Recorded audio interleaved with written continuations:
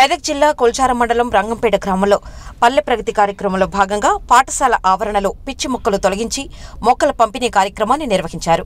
గ్రామంలోని SC colony ప్రాథమిక ఉన్నత పాఠశాల ఆవరణలో పిచ్చి మొక్కలు చెత్తాచెదారాన్ని తొలగించి కాలనీవాసులకు సర్పంచ్ బండి సుజాత రమేష్ గ్రామ ప్రత్యేక అధికారి దైవ సుశీల్వ మొక్కలను పంపిణీ చేశారు.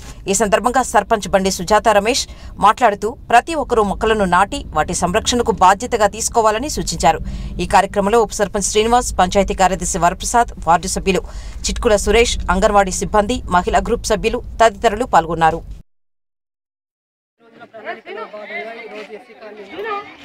గడ్డి పిచ్చి మొక్కలు తొలగించడం జరిగింది. అదేవిధంగా స్కూల్ గ్రౌండ్ రోడ్లు అవన్నీ ఊడవడం జరిగింది. అలాగే అద్దారంలో భాగంగా హోమ్ ప్లాంటేషన్ కూడా చేయడం జరిగింది.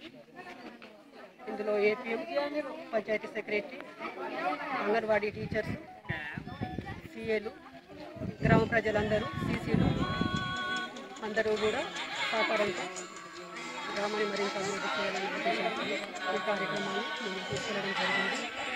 మరి మురికి కాలువలు రోడ్ల వెంబడి ఉన్న పిచ్చి మొక్కలు తొలగిస్తున్నాం. అలాగే మనం బ్లీచింగ్ పౌడర్ వేయడం కానీ చాలా బాగా కార్యక్రమాలు నడిపిస్తున్నాం.